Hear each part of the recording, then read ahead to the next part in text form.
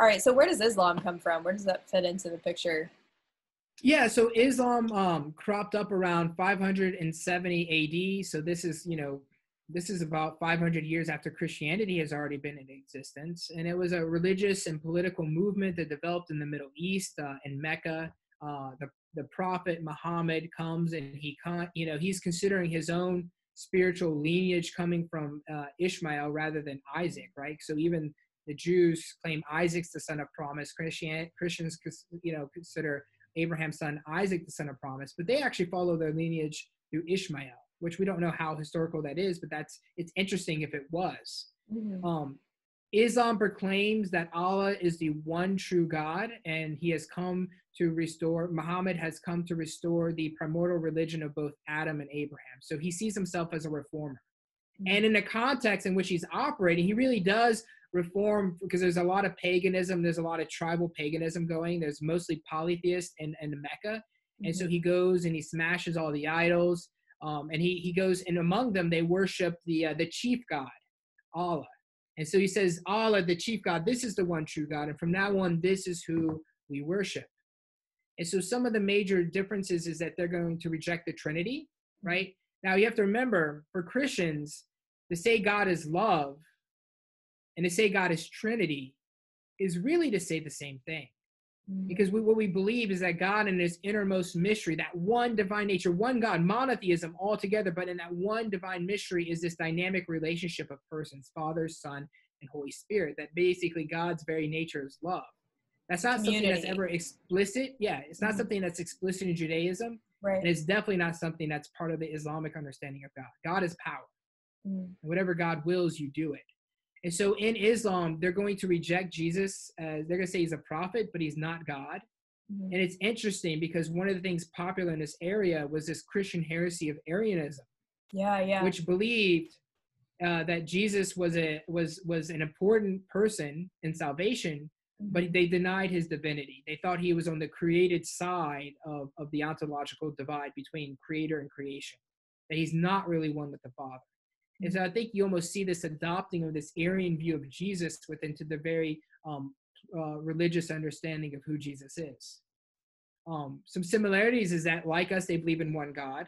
They believe Christ has a special role, even though it's not the same. They believe Abraham is the father of faith.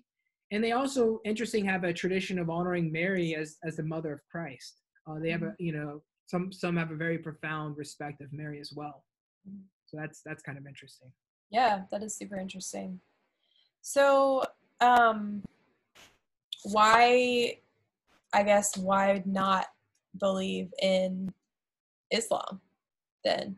Like, as. Yeah. Yeah, I guess this kind of goes into one of the last things we'll talk about, but um, really, it, the rejection of Christ, right? Mm-hmm. I mean, mm-hmm. that's the thing is is why do we believe God has has has entered into a relationship with us through Christ? You know, that kind of mm-hmm. goes into is Jesus the one?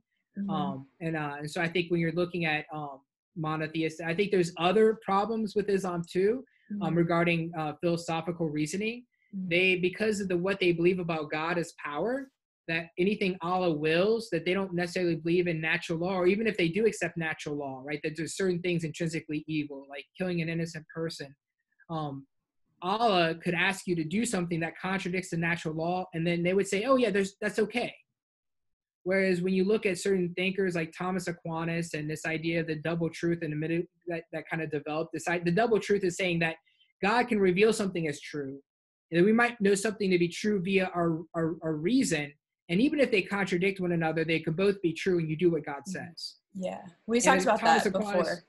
Mm-hmm. Yeah, he's going to say this is ridiculous because if God is the author of the book of nature, he, if he's the one responsible for creation, if he's the one responsible for the moral law um, as it exists and that we can reason to via our, our intellect. And mm-hmm. then God also reveals himself through the church or through a religion. They can't contradict one another. God is mm-hmm. never going to ask us to do something that violates the natural law because the natural law is a is a manifestation. It is it is a mere expression of His divine mm-hmm. nature. so, so God fundamental differences. Right. So God reveals Himself to us through those like both of those ways. That like god reveals yeah. himself to us through creation and through the natural law but he also reveals himself to us sometimes through this revelation that he yeah. says something very specifically about himself to us. And if the two of those were contradictory that wouldn't make sense because they're both coming from the same source. yeah reject any notion of god yeah. that that there's a contradiction in the book of, of nature and the book of revelation. Why? Because the book of nature and the book of revelation has the same author god Mm-hmm. And so there, there shouldn't be any contradiction between the two. And so this becomes a part of that criteria, those that threefold criteria, right? What do we know via reason? What do we know via human nature?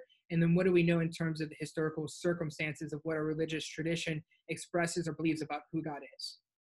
Right. And so I think you you have to have this understanding that faith and reason should never contradict each other because they have the same source, which is God. Cool. Okay.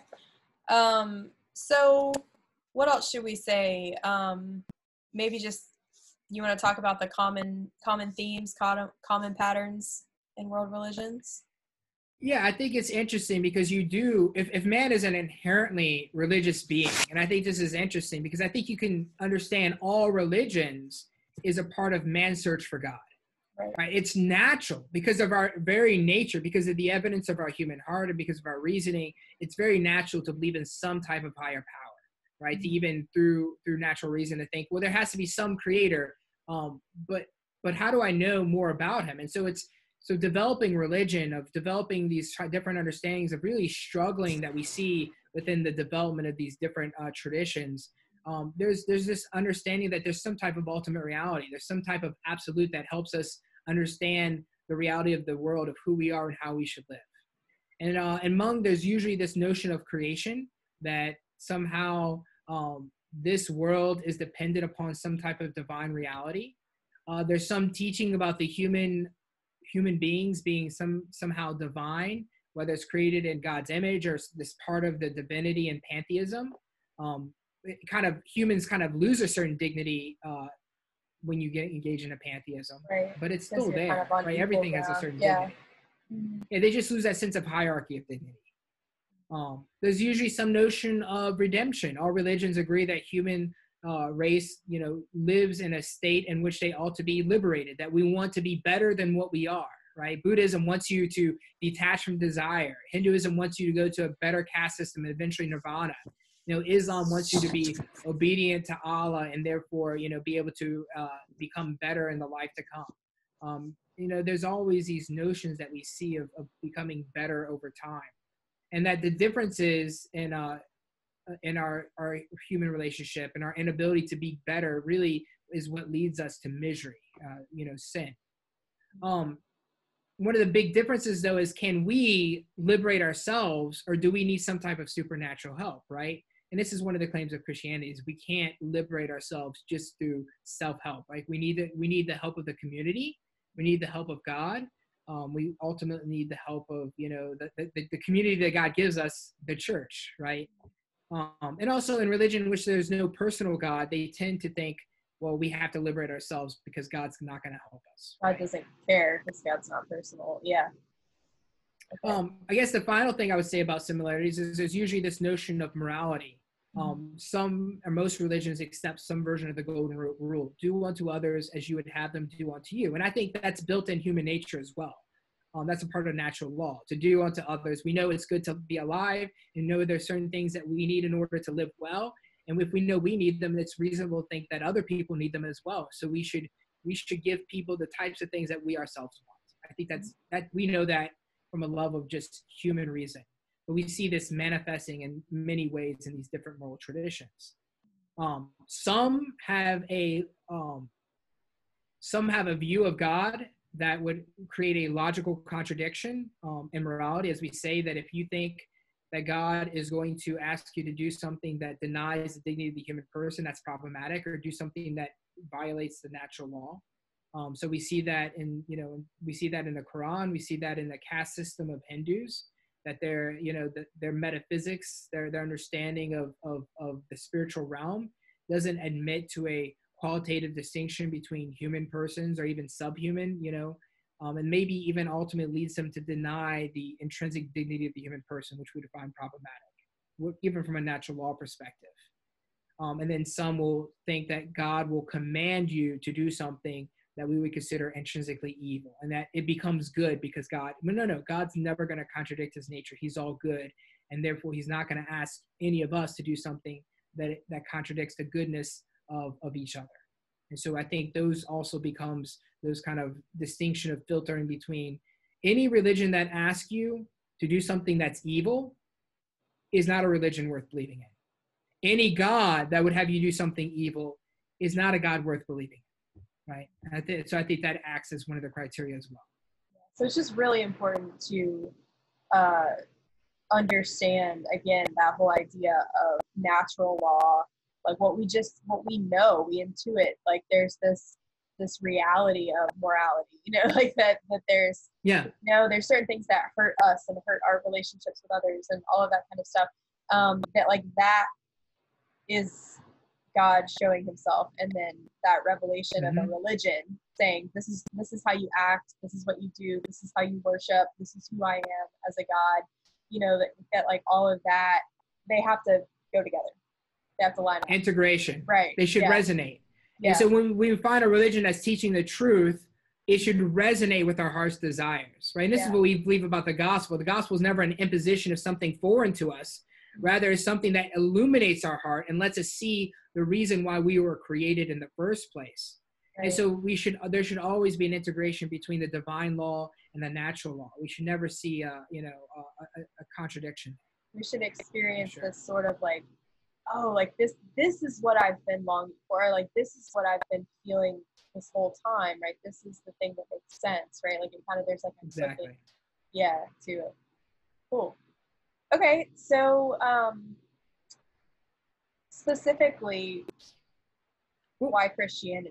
Or do you have more to well, say? yeah yeah. No I, and this goes into the why christianity question. Yeah. um I one of the things I think is interesting, just in terms of a thought process that, to think about, because as we see these different grapplings with the divine nature is are there many gods? Is, is is ultimately when we think about the ultimate source of reality is it something that's diverse and many or is it just one when we think about the ultimate source of all that we see is it just one ultimate reality is is the ultimate reality one or many is it monotheism or polytheism or some combination of being like a you know a pantheism right um, and when you think about that, I think that makes sense. When we understand that all religions are man searching for God, it makes sense that you would see manifestation of both polytheism as well as monotheism and some combination between the two. Um, because when you when we're honest and we look at our experience of the world, we experience both unity and diversity. We experience we even define it. What is what is everything? Everything is the universe right? But the universe is a collection of many parts and each of these parts operate in order to create the harmony and the collective that we call the one universe. You, know, you can think of ecosystem. You have a system in which there's a unity of things um, working together you could think of the food chain and the biodiversity and everything has a role in order to sustain life in order for things to exist in the unity that they exist you could think of the unity of a community, which is a collection of many parts working together, a society, a collection of many individuals, you know, in unity of families and unity of, of uh, you know, parishes and state and, and so forth, that we work towards common goals. There's a unity, but yet within that unity is a diversity. You can think of the unity of the human body, right? I am one. But when I look at, you know, the many parts, the parts of my organs and my systems and my tissues and my cells, you have a lot of diversity and unities um, within the one unity that I am. And so I think this may creates a different, interesting uh, reflection that it would make sense that if God does reveal Himself to us, the one true God, because it can only be one for the reasons we said earlier, it'd be interesting that within that unity of the one divine nature, somehow there was also a, uh, a diversity, a harmony of, of persons working together. Yeah. And so I think it's interesting because when you think about what God has revealed about His nature as being love, that in the one divine nature is a community of persons. You have something that is both absolutely one. It's not a polytheism, it's not a pantheism because God is distinct from creation, but something that is absolutely one, one divine nature. Within that unity, it subsists in a diversity of persons Father, Son, and Holy Spirit. Or as St. Augustine says, lover, beloved, and fountain of love that God's innermost mystery is this dynamic relationship of self gift. and that somehow the unity and diver uh, and, and this uh, that subsists in this diversity that is God, that it would make sense that creation somehow in some way mirrors this unity and diversity in a lesser way, right? That is not equal to God. And that therefore the unity and diversity of creation, the unity and diversity of us, uh, and the types of relationships we're called to, it would be something that both that is both one, but in that unity is a harmony of relationships. There's something in us that knows the importance of us being one and being unique among many, right? Um, that like we do have an individual consciousness and you know all of this kind of stuff like there's something mm-hmm. important about us being individuals but yet at the same time we also know that we're, we're created a community like we can't survive without it like we need it and when we don't have it we experience that suffering we experience that ache right and that like there's yeah. something in us that like both of those are important and we've actually talked about this in, in this class and um, mm. talking a little bit about uh, social teaching church's social teaching that there's this sort of unhappy often unhappy tension uh, in trying to organize a government, you know, or to organize a, a way of uh, doing society, right? That is both holding both of those things together properly. Intention, yes. Right? Yeah. So like, so you have, you know, we talked about like on communism on one side of the spectrum, you have this sort of emphasis on the whole or the the community, right?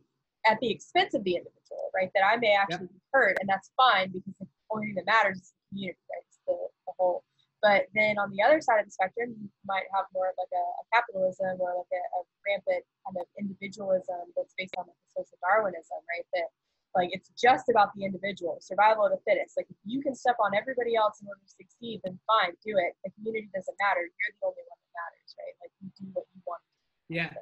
So, so there's a problem with both of these, right? In the church's view, because of the Trinity, right? Because of God.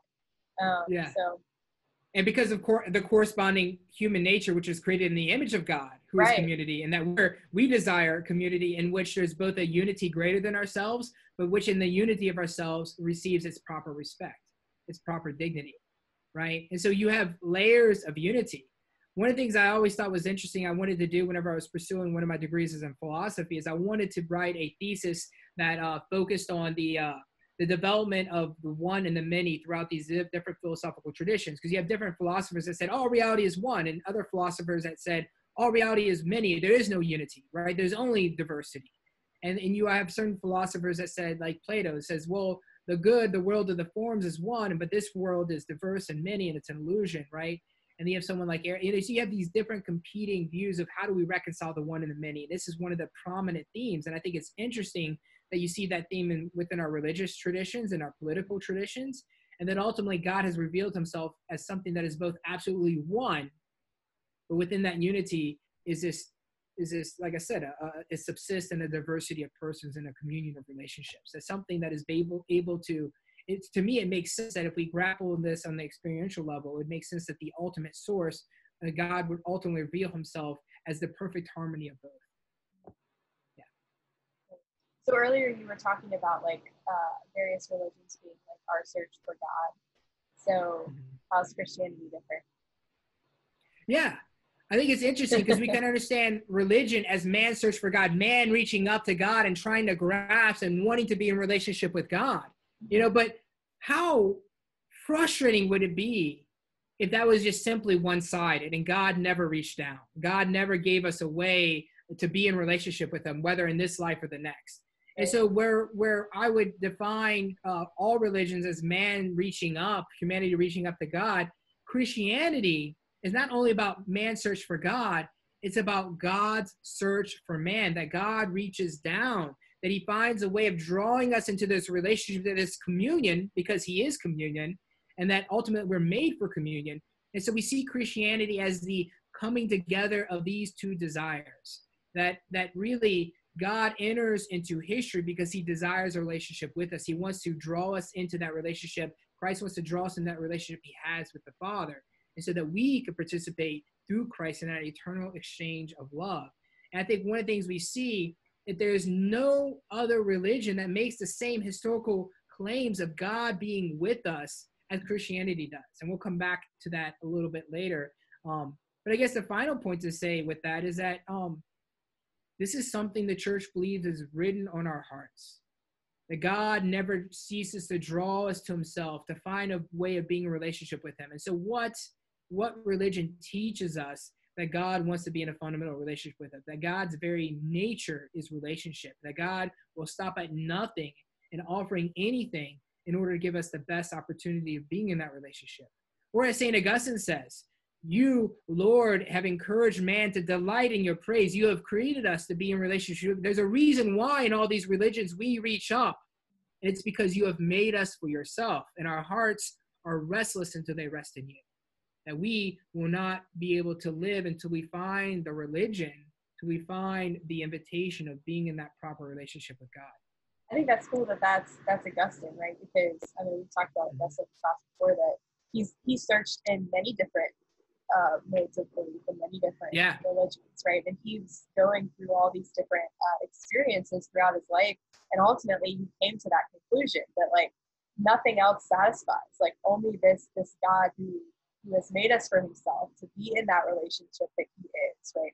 The only thing that makes sense, like based on the longings of our human heart. And he was a person that had great longings, you know, great, great passions and desires, and you know, searched a lot. Yeah, and I think yeah, yeah, I think you're right. There's no accident that when you look at his own personal journey and struggle with God, that it would make sense that he's the one that's articulating these things. You know, someone else that a quote that comes to mind, um, one, and he was actually a great. He wasn't Catholic, but you know, he he he uh, he could see himself kind of heading in that direction through the course of his life and more and more defending church teaching. But someone who uh, came over from atheism, which is C.S. Lewis, and uh, you know, you could tell he's someone who struggled. Like, why not? Why believe in, a, in this type of God? Why believe in the God of Christ? Why does this make sense with the human heart? And something, a quote he said in his book Miracles, he says this. He says, It's always shocking to meet life where we thought we were alone. Look out, we cry, it's alive. and therefore, it's this at this point that many people draw back.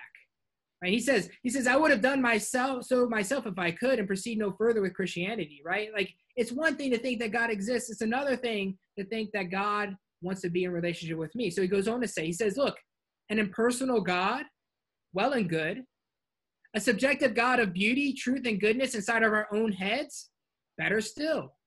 A formless life force surging through all of us, a vast power which we can tap best of all, right? He's basically saying, wouldn't it be great if that's what God, wouldn't that be convenient yeah. to how we want to live our lives? Yeah. But he goes on to say, but God Himself, alive, pooling at the other end of the cord, perhaps approaching us at an infinite speed, the hunter, the king, the husband.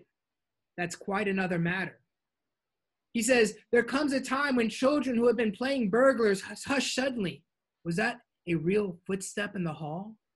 There comes a moment when people who have been dabbling in religion, man search for God, suddenly draw back, supposing we have found him. We never meant for it to come to that. Worse still, supposing that he had found us. And so this is really what C.S. Lewis is describing is that our search, our religion can't just be our desire and our search for God. We have to also look for evidence that God has reached out and been searching for us. I think this becomes a compelling reason when we take all that consideration to believe to go from this leap from the creator to Christianity. It's just I love that quote. I just think it's great that there's you know, we can do all this talking like you and I are doing right now, we're like talking about God possibilities of God or whatever. But like when you get to that moment when you realize that someone's looking at you while you're doing it, they're like that not something is there, but someone is looking at you. You know what I mean? It's like, oh wow, like that's that's yeah. something totally different. And we we get scared of that sometimes, you know. We want to draw back yeah, that because we're like, ah, like I'm seen. Yeah, know? yeah. I'm found. Yeah. I'm thinking of a quote from Blaise Pascal. He says, Knowledge of God is very far from love of Him. And I think one of the points Pascal is making is that thinking about God is not a substitute to being in relationship with God. what we talk about right here, all none of this is a substitute to real faith. Real faith is about relationship. As, as G.K. Chesterton says, he says, let your religion be less of a theory and more of a love affair. And so ultimately, what religion is calling us into a love affair with God? you know, something that is em- em- eminently personal and something that speaks to the desires of our human hearts. and that really desires to draw us into the very nature of love. That's a, that's another thing that really gets me that I don't know difference in Christianity than other things is that idea of like Christi- Christianity is not just another moral system, right? Like it's not just another mm. morality, but it's it's an actual person who we are called into relationship to, and that's completely different, right? Like, because we could sit here all day and come up with all kinds of philosophies about how we should treat other people and how we should live our lives and whatever, but ultimately that's not the point of our religion. The point of our religion is to enter into a relationship, and all the moralities and all the philosophies and all the other things that kind of come with that is is pushing us towards relationship. Um, yeah. And so I think that that is really the Christian difference. So. If you've made it about the rules, you you've, you've missed the point. Yeah, and Christians do this all the time. Christians miss the point yes. all the time, right? They don't even understand their own faith, right? So I think that's mm-hmm. why it's important to look to the saints, the people that actually are the um, sort of manifestation of like this is what it is to live Christianity. Like those that's people right. have really understood it, um, because when you look at their lives, then you're like, oh, that is different. like that is yeah. fundamentally different than like all these other people and all these other religions and stuff. You know? um, so yeah. So uh, one of the last things I just kind of want to leave with for, for reflection is just something I came across by a Father Spitzer. He's a he's a Jesuit priest, and um, he is. Yeah, you can share. Yeah, if you, he's actually, you, yeah, I can send you the link, and he has the actual what what he has. What I'm giving you is just an abbreviated version of what he goes through, and it's actually, um, he's dealing with that question: How do we go from believing there's a God to some type of creator or absolute reality to believing that Jesus Christ is Emmanuel, God with us, right? Something that that uh you know Grace expressed very very perfectly at the very beginning of this, right? And so he wants to make this leap from a creator to Jesus as as being God with us as as intelligible as possible in terms of thinking of it in terms of reason and human experience. And so what he what he offers us in that that article is really something that it came out of a conversation he had with this physics college student, right? He says, "Oh, I'm on this retreat, um, doing a nation retreat, and this this this student comes up to me and he says, "Look, I resonate with belief in a creator because of the the finitude intrinsic to time and the need for the origin of a universe to have a cause beyond a universal singularity." Right? This is what this physics student is telling us, right? So he says, "I have no problem believing in God, but." I'm not so sure about Jesus. How can we say this Jesus stuff? How do we know Christianity? And so Father Spitzer is responding. He says, Look, the Jesus thing is really about the unconditional love of God. It's about God wanting to be with us in a perfect act of empathy, of about God wanting to save us unconditionally and bring us to his own life through unconditional love. Right? That God is not, that ultimately it's not a disinterested, detached, or impersonal God. And so right now we're going to go through maybe just those six questions in this kind of logical pro- progression according to the logic of love, according to the fact that we as humans really desire love. Yeah. And so first question. What is the most positive and creative power or capacity within us, within me as a human, right? So think about that. What is the most um, positive and creative power you have? You know, well, first of all, you might say, well, maybe it's my intellect. Maybe it's my ability to think, my ability to know things.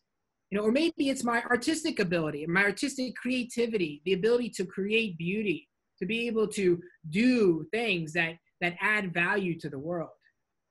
Right? He says, actually, if we think about it, the ability to know something and the ability to create something is not necessarily positive in, in and of itself. Why? Because we can use our knowledge and our beauty and we can misuse these things right? We could take the truth we know about somebody we could take our ability to do something and we could create something that's negative that's destructive that manipulates individuals and acts against the common good right? And so then he goes on to say there's actually one human power that contains in itself a, a very positive end that it, it can't be misused.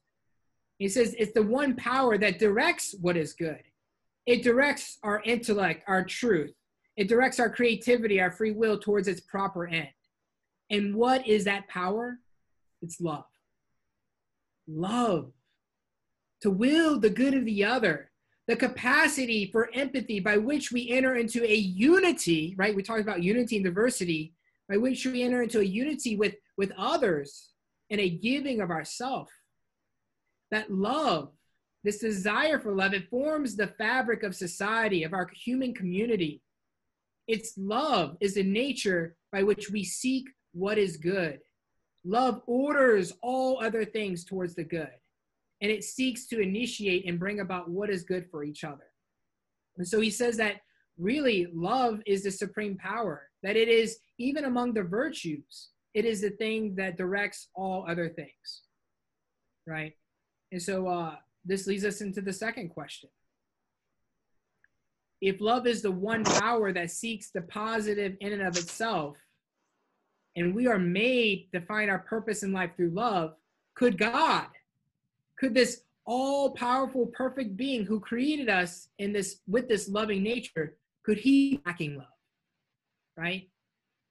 If we have this desire for love as a part of creation, could the one who who is all perfect be lacking the most positive power that we have as humans. Yeah, so like if think we, about that. If the perfection of what of what we are and what we can do is love, then like how could a someone who was who did not possess that quality like create something that does possess that yeah. highest quality, right? So that doesn't yeah. make sense, right? Mm-hmm. It goes against the principle or uh, the logical principle that no effect is greater than its cause. Right. And if creation, the effect of the creator, has a power that is greater than what the creator possesses, then, then that's a that's a logical contradiction. Right. How is it that we as humans who were created by God are made for love if the creator is in fact lacking love? And so it would seem that we can only be fulfilled when we are loved and when we love others. How is it that God would create it this way? It would be absurd to think. But if God is love, then our nature would be consistent with who God is. Only that makes sense. And furthermore, if the creator is a perfect being, such a creator could not be lacking the one positive power and virtue which we possess as humans, which is the capacity to love. And so if you can agree with that, then he's like, well, then, then let's move on to the next question. Right? Is there any other thoughts about that before we move on? Not that I had. It, it makes sense to me at least. Um, yeah, that just that idea that the creator has to be greater than I am because creator created me. And so if I have this power that is better than every other power that even I can see around me, like even greater than the animals, greater than the trees, you know, all of that, then like how could he not have that, but even greater have that, you know, be that, right? That thing. Exactly. So yeah. Okay. So yes, next question is about the nature of this love, right? Look at your desire to be loved. Do you desire to be loved conditionally or unconditionally? yeah. do I only want to be loved sometimes or do I want a love that endures forever? When I, you know, have friends, do I only want them to be good friends sometimes or do I want to be good friends all the time? Yeah. And so he says, like, if we're honest, we desire perfect and unconditional love. Why? Because first of all, we have the power to love. We have the power to naturally be connected to other humans in this profound empathetic, caring, self giving, concerned, and accepting way of each other, right? This is the foundation of human relationships, of community, of the types of friendships that we want to have in life, right? And we also, but even though we have that, we also know that we're not perfect, that we have a sense of wanting to grow in our ability to love. We want our love to be more perfect, to recognize that we have a need to pursue healthier, more loving relationships than we currently do. We want to improve in our ability to love one another. We want to put in the work that have healthy relationships of unity. And so he says, related to this, this desire to love is this expectation of more and more faithful love from each other. Right? You might have a friend that they might hurt you and backstab you, but the longer you're in relationship with them, then when you build up trust, you have an expectation that they're going to stop doing that. They're going to get better than that. We want more uh, over time from the people that we grow to trust. And the fact that we have this expectation, it generally leads us to disappointment, to the breakdown of relationships, right? What happens when your friend fails to meet your expectation? You know, what's going to happen to that relationship? Or it's going to need healing, it's going to need mercy, it's going to need reconciliation. But the reason why we get disappointed in our relationships is because we have this deeper longing for unconditional love. Right? It's like uh, a while back, uh, there was that AT&T commercial with the little kids, and he's like, is more better? And the kids are like we want more. We want more right? There's a desire when it comes for love. We want more. And so then he goes on to reflect our desire for perfect and unconditional love. It manifests itself in the very fact that we have very often been disappointed in our relationships, whether with family or friends or spouses or children or romantic interests, whatever it is. But this disappointment would not be there if there was not this underlying desire for a more perfect and an unconditional love. Right? That's just a part of the human experience. I, I get that. So then this leads us to the, uh, his fourth question, right? So remember, we're six questions. This is four. We're, we're, we're getting uh, over halfway through with this next question. If your desire for love can only be ultimately satisfied by unconditional love, then could the creator of this desire be anything less than unconditional love? Right? It, provided that we assume that a creator who is all good, who's all powerful, who is the very nature, you know, it, could he be anything less than unconditional love? Unless he intends to create us with an unfulfillable desire, which would be monstrous, he wouldn't be good then we can assume that God is perfect and God is in fact unconditional love. Or else, why will He create us with a with a with a longing that He did not uh, He did not intend to somehow fulfill? Right, that would be inconsistent with our Creator, um, who is unconditional love, and that that love in principle is present within His creatures, who can only be fulfilled by perfect and unconditional love. Right? Does that make just, sense? Yeah, it does. Just to review, um, why is it again that we believe that God like say that God, again. The God, the Creator God, right?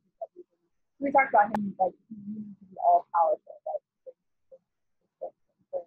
You know, um, may have mentioned like all or whatever, right? So like all good, all loving. Like that's just because we have, we have that ability to at least love conditionally, right? Um, so then, is that why? Like, if the creator uh, needs to be all loving because if he isn't, then he couldn't have that. Yeah. yeah. So we're, I, think it follows from the other premises. If God is in fact one, which we've already demonstrated, if God is in fact good and he's not lacking any goodness because he's not lacking any perfection, if the highest good of humans is that we have to, you know, we can only be fulfilled by unconditional love, then we would say, well, then God by nature would have to would have to if he he possesses all perfections, he'd have to perfect he'd have to possess the perfection of love. That the capacity which is a present within us, the capacity to love, it would find it'd be it'd be present par excellence in God because He would be the source of our capacity to love, and therefore He'd be the fulfillment right? Kind of going back to that quote from St. Augustine Lord, you have created us for yourselves, and our souls are restless until they rest in you. Um, there's a reason why we long for love, and that's because God has created us with a longing for Himself, which is reasonable um, if we understand uh, human nature and the fact that we are created with this underlying desire for perfect and unconditional love. It necessarily follows from that. Okay. So, going into the fifth question if the creator is unconditional love, would he want to enter into a relationship with us of intense empathy? That is, wouldn't he want to be God with us, want to be Emmanuel, right? That's what, that's what the word Emmanuel is, right? You sing it during Chris, Christmas, right? Yeah. Oh, come, oh, come, Emmanuel, right? We're saying, Lord, come, be God with us, enter into our, our situation, enter into the darkness, right? And so, you, you mean, this shouldn't take much. This is kind of already implied. It's just unpacking it from a different angle. If God wasn't unconditional uh, love, it'd be ridiculous to say God would want to be with us, right? And we see this of why some believe in an impersonal God because they don't believe God is love. They don't believe He's unconditional love. He doesn't really want to be in a relationship with us, and so therefore we have to save ourselves. He's not going to help us. He's not going to lift a finger. He's not going to seek us out. All we can do is seek Him, and He doesn't care about us. why would God desire design us with the desire to seek Him if He didn't also want to seek us? If He didn't want a relationship, it's a very there's there's an inconsistency there. Why would God want to do anything? Like if God yeah. just, just fulfilled Himself force, right, or whatever, like God was just God and He was perfect, then why create anything, right? Like yeah, exactly. Yeah. He's not like the Greek God, you know, the Roman Greek God um, that uh, need to be somehow you know, like he is perfect, right? So like if he is that, then why does he need to create anything at all? unless. Mhm. there's That's like that's exactly God. right. Yeah. Um, okay. So Well, God, and this is this is getting to something I also like to express is that there's a difference. If God was just power, if God was just will, right? This is actually one of the uh, frustrations of the Romans against the early Christians of why some didn't believe in Jesus is because you know they, they say why it's ridiculous that God would want to become man. What is God lacking that he can gain by becoming man? And if you're trying to judge the incarnation according to the logic of power, it makes no sense because Jesus doesn't gain power by becoming man. And so they're making fun of Christians. Like, what is your God lacking that he has to become man in order to become more powerful? That doesn't sound like a very powerful God, right? They understood that God was power. What they didn't understand is that God is love. Because when we look at the incarnation according to the logic of love, Jesus, the, the second person in the Trinity, doesn't become man. He doesn't incarnate into and assume a human nature and become Jesus Christ, right? Because Jesus is the earthly name of the created human nature, right? He doesn't do that because he's lacking something. He does it because we're lacking something, and his very nature is love. He does it in order to be to bridge the gap, to be in relationship with us. And so this kind of goes into the uh, to the to the the next question, right? If it would be t- typical that unconditional love, God would want to be fully with us, then is Jesus Christ the one? This is the final question. If God is unconditional love, it makes sense that he would manifest that in the concrete circumstances of history. And so then we can look at what type of historical data corroborates the fact that God has bridged the gap between creator and creation, between eternity and the universe, both as Emmanuel, God with us, and as unconditional love. What religion teaches this? What religion um, has this as part of the historical claims? Right? Even when we think about Buddha, like Buddha didn't claim to be the way to God or the way to enlightenment or the way to nirvana. He just says, "I'm along the way." He doesn't. I'm He doesn't think he's a messiah. Trying to teach you how to find what I found. Yeah, I'm a, I'm Yeah. a beggar found another beggar. I'm not actually the thing that you want. And this is something that's singularly unique. Even Muhammad, right? I'm just a prophet, right? I'm just a dude. Yeah. You know, like don't look to me.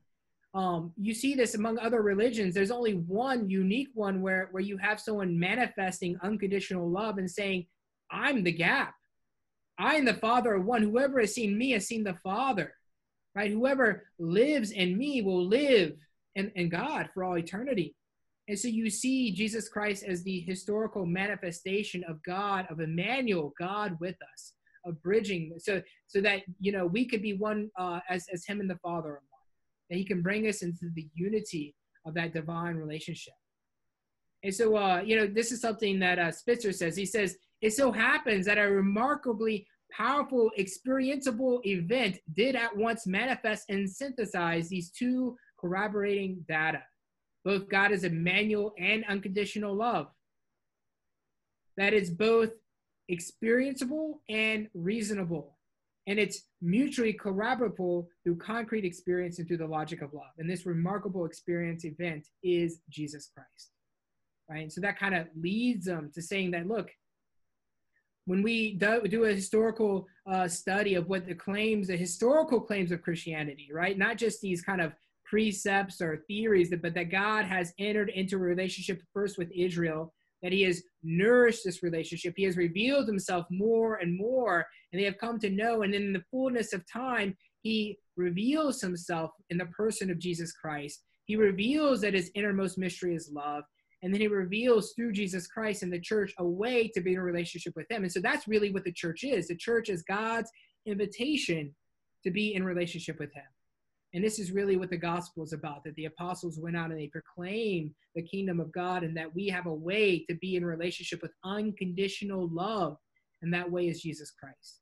And it's in light of this that Christianity becomes eminently reasonable. That it's not just uh, an act of faith doesn't just result from a single factor, but really it's a convergence of evidence, of, of reason, of the natural law, of the evidence of the human heart and human experience and our longing for unconditional love, and the historical reality that God has manifested himself in history in his relationship to Israel and in the event of Jesus Christ. and that this shows that Christianity is not only reasonable, but maybe the most reasonable um, among all the various world religions. That there's a coherence to the claims of Christianity, and that it's that it's a convergence um, of, of these many factors. And I would even say, even as we talk about this in terms of this intellectual uh, understanding, to go back what I said about before, that thinking about God is no substitute for a relationship. That, but it's good to think about these things because these things can provide a preparation for faith. And like any human relationship, faith and a God, it's, it's, it's within a God who is personal, who is unconditional love. And it revolves a revelation and trust that is appropriate to relationship. And so we spend the rest of this life and the rest of eternity being drawn into the very mystery and life of our God, right? Of unconditional love. yes, indeed. All right. Thank you, Father Ryan. A lot, but really good. Yeah. so yeah, that's anything else? Just I encourage you to to seek, be seekers of our Lord. There is nothing that can absolve you of your responsibility to seek sincerely the desires of your human heart to be loved, to find where the Lord is calling you and where He is bringing you into relationship with Himself so that He can fulfill those desires, so that you uh, can know what your life is about, who you're meant to be, and how you are to live. All right. Well, thanks. See you guys next time.